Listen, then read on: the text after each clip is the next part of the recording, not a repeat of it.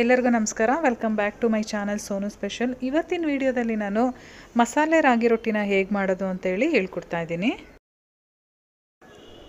ಮೊದಲನೇದಾಗಿ ಒಂದು ದೊಡ್ಡ ಬೌಲನ್ನು ತೊಗೊಂಡಿದ್ದೀನಿ. ಈ ಬೌಲ್ಗೆ ನಾನು ಎರಡು ಕಪ್ಪಷ್ಟು ರಾಗಿ ಹಿಟ್ಟನ್ನು ಸೇರಿಸ್ಕೊಳ್ತಾ ಇದ್ದೀನಿ. ನಿಮಗೆ ರೊಟ್ಟಿ ಎಷ್ಟು ಬೇಕಾಗುತ್ತೆ ನೋಡಿಬಿಟ್ಟು ನೀವು ರಾಗಿ ಹಿಟ್ಟನ್ನು ಸೇರಿಸ್ಕೊಳ್ಬೋದು. ಇದಕ್ಕೆ ರುಚಿಗೆ ತಕ್ಕಷ್ಟು ಉಪ್ಪನ್ನು ಕೂಡ ಸೇರಿಸ್ಕೊಳ್ತಾ ಇದ್ದೀನಿ. ಮೊದಲೇ ಉಪ್ಪನ್ನು ಸೇರಿಸ್ಕೊಳ್ಳಿ. ಇವಾಗ ಇದಕ್ಕೆ ಬೇಕಾಗಿರೋಂಥ ಮಸಾಲನ ಹಾಕ್ಕೊಳ್ಳೋಣ ಮೊದಲನೇದಾಗಿ ನಾನು ಎರಡು ಹಸಿಮೆಣ್ಸಿನ್ಕಾಯಿ, ಸ್ವಲ್ಪ ಕೊತ್ತಂಬರಿ ಸೊಪ್ಪು, ಹಾಗೆ ಒಂದು ಎರಡು ಟೇಬಲ್ ಸ್ಪೂನಷ್ಟು ತೆಂಗಿನಕಾಯಿ ತುರಿ, ಜೊತೆಗೆ ಒಂದು ಕ್ಯಾರೆಟ್ನ ತುರಿದಿಟ್ಕೊಂಡಿದ್ದೀನಿ. ಹಾಗೆ ಎರಡು ಮೀಡಿಯಮ್ ಸೈಜ್ದು ಅಥವಾ ದೊಡ್ಡ ಸೈಜ್ದು ಯಾವುದಾದ್ರೂ ಈರುಳ್ಳಿನ ಸಣ್ಣದಾಗಿ ಕಟ್ ಮಾಡಿಕೊಂಡು ಎಲ್ಲದನ್ನು ಕೂಡ ಒಟ್ಟಿಗೆ ಈ ರಾಗಿ ಹಿಟ್ಟೊಳಗಡೆ ಸೇರಿಸ್ಕೊಳ್ಳೋಣ. ಮಸಾಲೆಗಳೆಲ್ಲ ಸೇರಿಸ್ಕೊಂಡಾದಮೇಲೆ ಈ ರೀತಿ ಕೈನಲ್ಲಿ ಚೆನ್ನಾಗಿ ಮಿಕ್ಸ್ ಮಾಡ್ಕೊಳ್ಬೇಕು. ಆ ಈರುಳ್ಳಿ ಏನಾದರೂ ಟೂ ಲೇಯರ್, ತ್ರೀ ಲೇಯರ್ ಈ ರೀತಿ ಇದ್ದರೆ ಎಲ್ಲವುದು ಈರುಳ್ಳಿನೂ ಕೂಡ ಬಿಡಿಸ್ಕೊಳ್ಬೇಕು. ಆ ರೀತಿಯಾಗಿ ನಾವು ಮಿಕ್ಸ್ ಮಾಡ್ಕೊಳ್ಬೇಕಾಗುತ್ತೆ. ಜೊತೆಗೆ ನಾನಿಲ್ಲಿ ಒಂದು ಅರ್ಧ ಟೇಬಲ್ ಸ್ಪೂನಷ್ಟು ಜೀರಿಗೆ ಕೂಡ ಸೇರಿಸ್ಕೊಂಡು ಮಿಕ್ಸ್ ಮಾಡ್ಕೊಳ್ತಾ ಇದ್ದೀನಿ.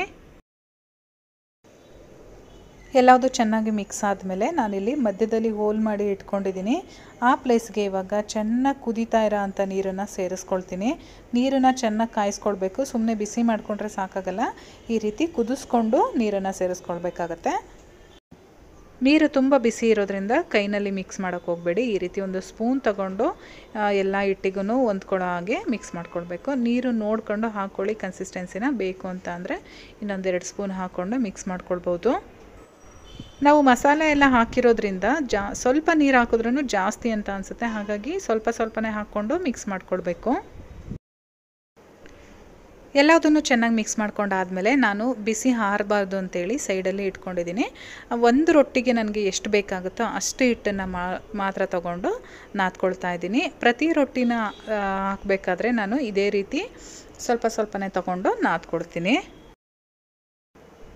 ನಾವು ಹಿಟ್ಟನ್ನು ಎಷ್ಟು ಚೆನ್ನಾಗಿ ನಾದ್ಕೊಳ್ತೀವೋ ತೊಟ್ಟೋದಕ್ಕೂ ಕೂಡ ಅಷ್ಟೇ ಚೆನ್ನಾಗಿ ಬರುತ್ತೆ. ಅರಿಯೋದಾಗಲಿ, ಮುರಿಯೋದಾಗಲಿ ಆಗೋದಿಲ್ಲ.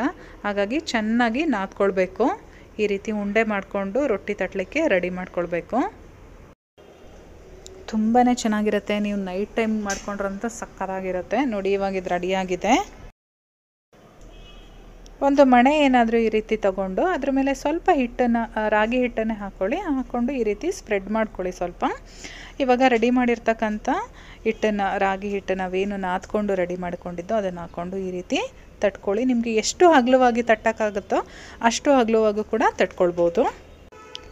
ನಿಮ್ಗೇನಾದರೂ ಶೇಪ್ ಹಾಳಾಗ್ತಾ ಇದೆ ಅಂತ ಅನ್ಸಿದ್ರೆ ರೌಂಡ್ ಶೇಪಲ್ಲಿ ಬರ್ತಾ ಇಲ್ಲ ಅಂತ ಅನ್ಸಿದ್ರೆ, ನಾನು ಪಕ್ಕದಲ್ಲಿ ಕೈ ಇಟ್ಕೊಂಡಿದ್ದೀನಲ್ಲ, ಆ ರೀತಿ ಕೈನ ಸಪೋರ್ಟಿವ್ ಆಗಿ ಇಟ್ಕೊಂಡು ನೀವು ರೊಟ್ಟಿನ ತಟ್ಬೋದು. ಈ ರೀತಿ ಲಟ್ಟಿಸ್ಬೇಕಾದ್ರೆ ಏನಾದ್ರೂ ತುಂಬ ಡ್ರೈ ಆಗ್ತಾ ಇದೆ ಅಂದರೆ ಸ್ವಲ್ಪ ನೀರನ್ನು ಕೈಗೆ ಸವರ್ಕೊಳ್ಳಿ ಅಥವಾ ತುಂಬ ತೆಳುವಾಯಿತು ಅಂತ ಅಂದರೆ ಮೇಲ್ಗಡೆ ಸ್ವಲ್ಪ ಹಿಟ್ಟನ್ನು ಸ್ಪ್ರೆಡ್ ಮಾಡಿಕೊಂಡು ನೀವು ಮಾಡ್ಕೊಳ್ಬೋದು. ಇವಾಗ ರೆಡಿಯಾಗಿದೆ ತೆಗಿಯೋದು ಕೂಡ ತುಂಬಾ ಸುಲಭ ನೋಡಿ. ಈ ರೀತಿ ತೆಗೆದು ಕಾಯ್ದಿರ ಅಂತ ತವದ ಮೇಲೆ ಹಾಕ್ಕೊಳ್ಳೋದು ಎಲ್ಲೂ ಕೂಡ ಹರಿದೋಗ್ಲಿಲ್ಲ, ನೋಡ್ಬೋದು ನೀವು ಎಷ್ಟು ಚೆನ್ನಾಗಿ ಬಂದಿದೆ ಅಂತ ಹೇಳಿ.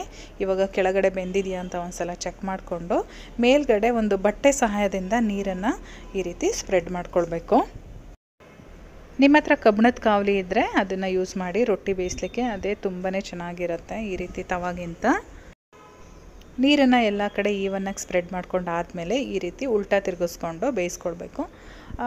ಐ ಫ್ಲೇಮಲ್ಲೇ ಇಟ್ಕೊಂಡು ಬೇಯಿಸ್ಕೊಳ್ಳಿ. ಒಂದೊಂದು ಕಡೆ ಎರಡರಿಂದ ಮೂರು ನಿಮಿಷಗಳು ಇಟ್ಕೊಂಡ್ರೆ ನಿಮಗೆ ಕ್ರಿಸ್ಪಿಯಾಗಿ ಬರುತ್ತೆ ರೊಟ್ಟಿ. ಇದೇ ರೀತಿಯಾಗಿ ಮಿಕ್ಕಿರ ಅಂತ ಹಿಟ್ಟಲ್ಲೂ ಕೂಡ ರೊಟ್ಟಿನ ಲಟ್ಟಿಸ್ಕೊಂಡು ಬೇಯಿಸ್ಕೊಳ್ಳಿ. ಇದನ್ನು ಬೆಣ್ಣೆ ಜೊತೆ ಸರ್ವ್ ಮಾಡಿ ತುಂಬಾ ಚೆನ್ನಾಗಿರುತ್ತೆ. ನನಗೆ ಆ್ಯಕ್ಚುಲಿ ಈ ರೀತಿ ಮಸಾಲೆ ರೊಟ್ಟಿ ಬೆಣ್ಣೆ ಜೊತೆನೇ ಇಷ್ಟ ಆಗೋದು. ಅಥವಾ ಕೆಂಪು ಚಟ್ನಿ ಜೊತೆನೂ ತುಂಬಾ ಚೆನ್ನಾಗಿರುತ್ತೆ. ಇವತ್ತಿನ ಮಸಾಲ ರಾಗಿ ರೊಟ್ಟಿ ರೆಡಿಯಾಗಿದೆ. ಈ ರೆಸಿಪಿ ನಿಮಗೆಲ್ಲ ಇಷ್ಟ ಆಗಿದರೆ ಒಂದು ಲೈಕ್ ಮಾಡಿ, ಚಾನಲ್ಗೆ ಹೊಸಬ್ರಾಗಿದ್ದರೆ ಸಬ್ಸ್ಕ್ರೈಬ್ ಮಾಡ್ಕೊಳ್ಳಿ. ನಾನು ಮತ್ತೆ ಸಿಗ್ತೀನಿ ಮುಂದಿನ ವಿಡಿಯೋದಲ್ಲಿ. Thank you!